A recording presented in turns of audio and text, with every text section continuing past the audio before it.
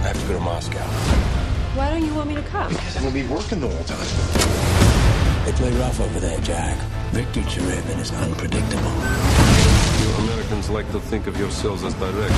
Perhaps you are just rude. I mean, I think we should do more than just send uh, gay Olympians uh, there. I, th- I think what's happening there in terms of gay rights or the lack of it is extraordinary and awful.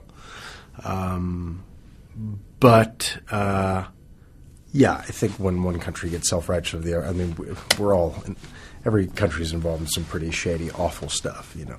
What do you think we should do in terms of the sort of Sochi Olympics? Oh, you're asking the wrong. I don't know. I mean, I just think uh, it's clearly awful, archaic, hostile nonsense. You know, it's just nonsense what they're doing.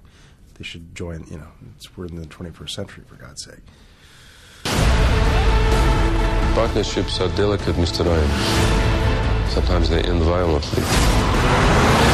It's not like the Bay of Pigs and nuclear war is going to start, uh, you know, at a drop of a hat. At least it's not there. Yeah, yeah. But um, yeah, certainly when you know the Russian Parliament bans the American citizens from adopting Russian babies, and uh,